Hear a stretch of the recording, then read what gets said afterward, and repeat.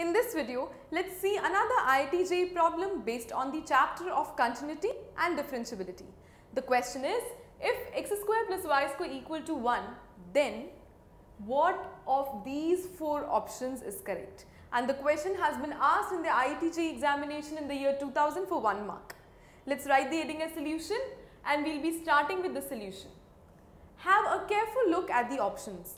They are in y, y dash, y double dash, here also y, y dash, y double dash. That means you are required to find out the higher order derivatives also. So this question is based on the higher order derivatives. y means the simple given function, y dash means the first order derivative, y double dash means the second order derivative. So let's take into consideration the given equation. It is x square plus y square equal to 1. In order to obtain any of these four correct options, first let's differentiate. So I write differentiating 1 with respect to x. I have actually written what?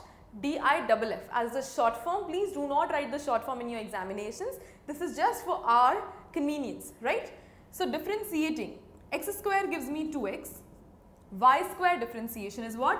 2y and dy by dx. Dy by dx is written y dash because in this question everywhere you find y dash is equal to 1 is equal to 1 being a constant let's make it 0.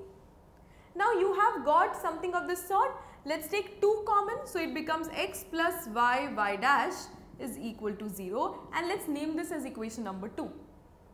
Still any of the options does not match because the option also has y double dash everywhere. So we have to again differentiate. So I write differentiating again in short 2 with respect to x. What does it become? x differentiation is 1, y 1 because the differentiation of a variable with respect to itself is 1. Then y and y dash are the two different terms. We have to apply the product rule in case of differentiation. So leave y as it is, differentiate y dash, it becomes y double dash plus leave y dash as it is. I again repeat, leave y dash as it is and differentiate y, it becomes y dash. So that is equal to 0. Now what you can do is, you can actually see what interest is given to us by this. You can actually see how we are going to go about it. You see that y y double dash is there, here also y y double dash is there. So y y double dash is there.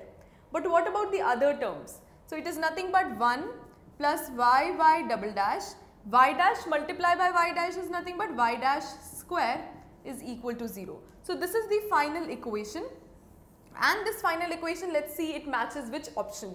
So it should be all in plus first thing but it has in minus so A cannot be the answer, it has in minus C cannot be the answer either B or D. Let's match it. So it basically matches option number B y y double dash plus y dash square plus 1 equal to 0. So you see that the question was very easy if you see the options. So in competitive exams it is always advisable to have a look at the options also before starting the question.